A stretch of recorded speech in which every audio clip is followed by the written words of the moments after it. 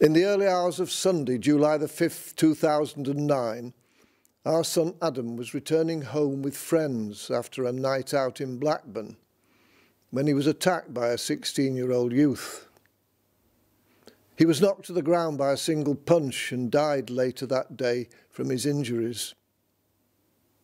I'd like to tell you the story of that tragic night and its consequences about the senseless and avoidable behaviour that led to that fatal punch and the impact of Adam's death on the lives of so many people. Adam had only recently returned to Blackburn after more than four years away, and the whole point of his night out was to meet up in town with lots of his old friends. Everyone who met him says that he was very happy and really enjoying his night. He didn't drink too much. He wanted to make the most of his time with his friends. And hospital tests later showed that at the end of the evening, he was below the legal limit for driving. His friend Rachel tells how the evening began.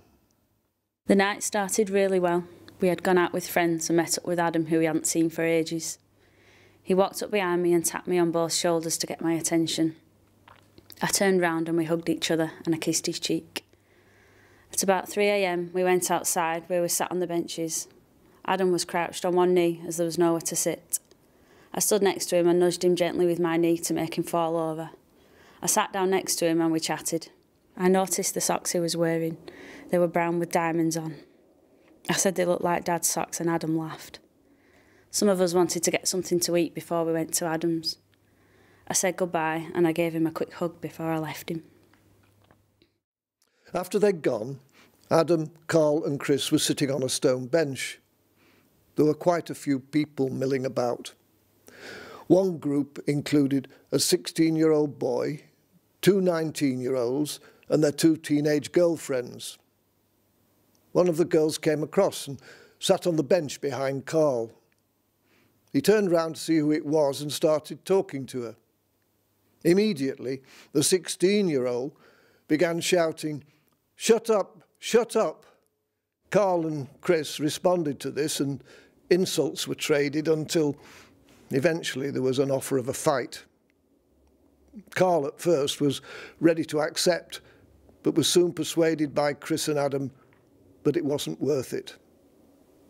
The three of them walked away to meet Rachel, Joss and Scott coming back. They were followed by taunts and jeers from the teenagers.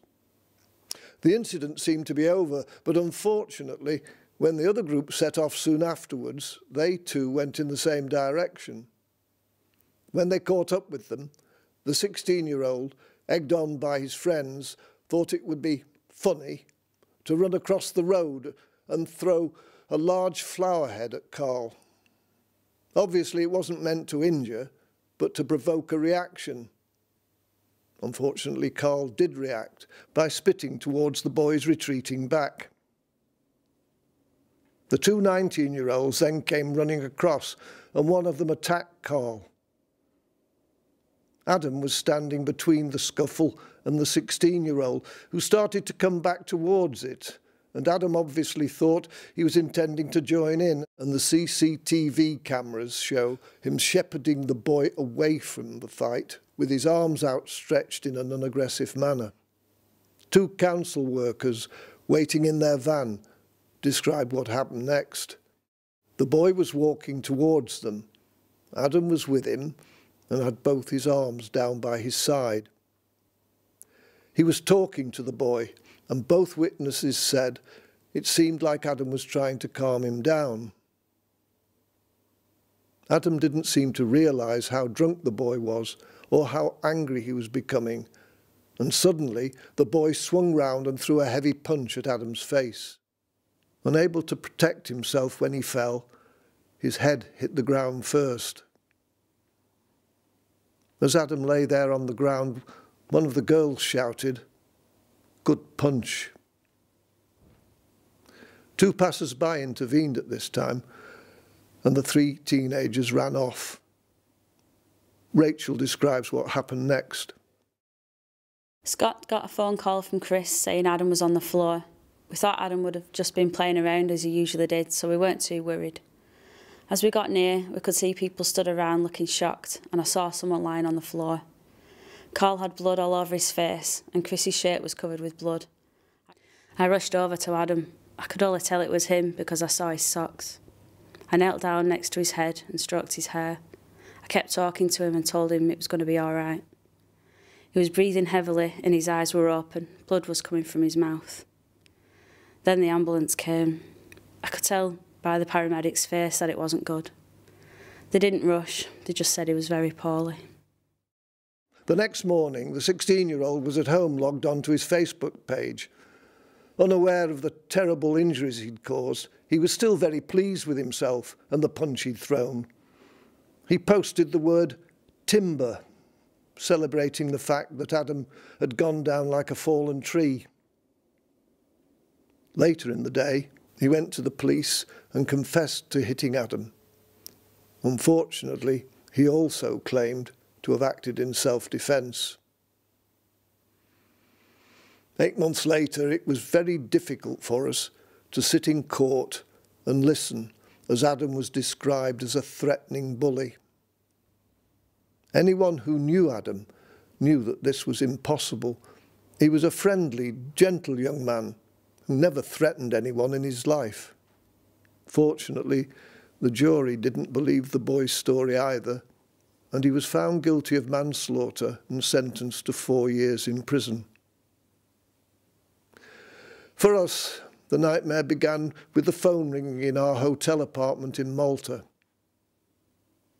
Adam had taken us to the airport late on in Saturday afternoon and returned to Blackburn for his night out. As we said goodbye and gave him a big hug, little did we think that it would be the last time we would see him alive. The phone call was from our youngest son, Jamie. He just said, Mum, it's Adam. He's been attacked, and it's really bad. Then the doctor came on the phone and explained that Adam had serious brain injuries. He just said, Get back as soon as you can. We flew straight back to Manchester and arrived at the hospital around lunchtime. We went straight down to the critical care unit where Adam was being kept alive by the machines. He looked so normal. A natural colour in his cheeks. He was warm to the touch, and his soft brown hair flopped over his forehead. It seemed like he was just sleeping and might wake up at any moment.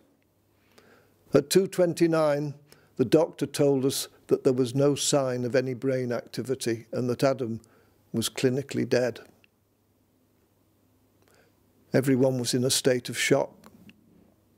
The hospital staff were fantastic, and they allowed everyone to go in to say their last goodbyes.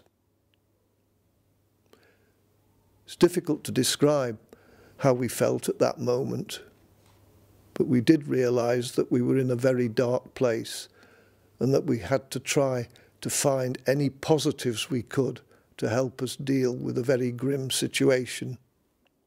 The first opportunity came when we spoke to the organ transplant team as Adam was a registered donor.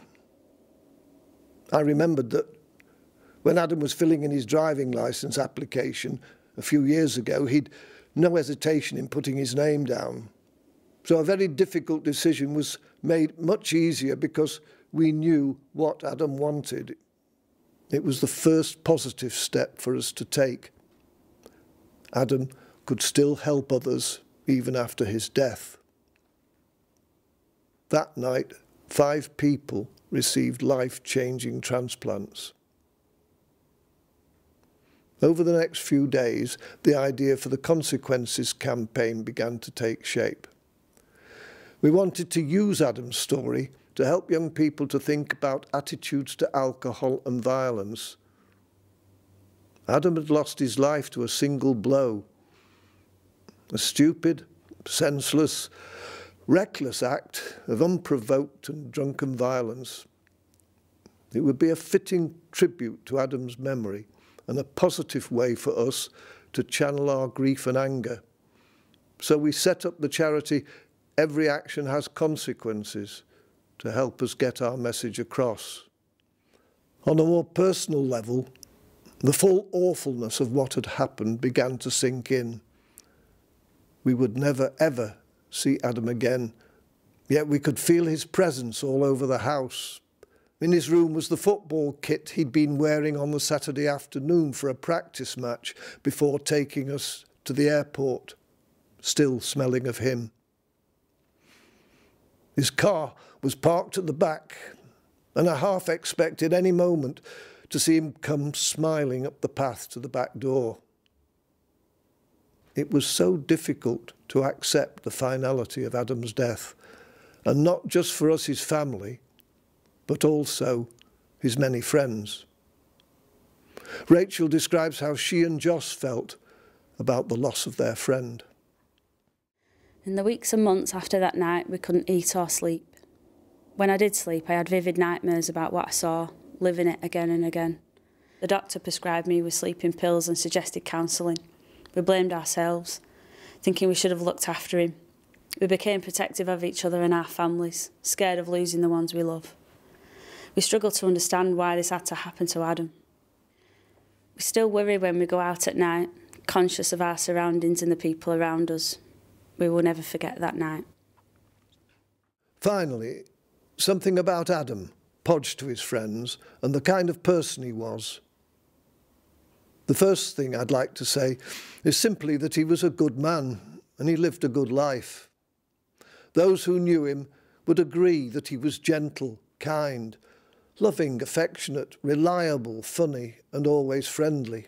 He was very special, not just for us, but also for his friends. It's still hard to comprehend how someone as nice as Adam could have been taken away from us like that. It seems so unfair. He never harmed anyone or had a bad word to say about anybody. He was always cheeky and happy. If you weren't feeling too great, he'd do daft things just to make you laugh, just so you'd feel better. He would have helped anyone in any way he could.